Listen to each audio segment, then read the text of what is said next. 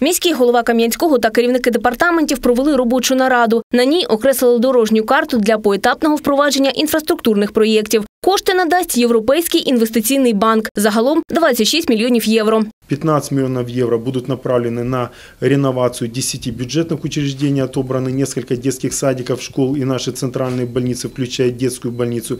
Частину інвестиційних коштів спрямують на реконструкцію вуличного освітлення. Зокрема, планують повністю відновити електрику в приватному секторі. 11 миллионов евро на полную реконструкцию наружного освещения города с использованием LED-технологий. У нас на сегодняшний день город освещен на 85%.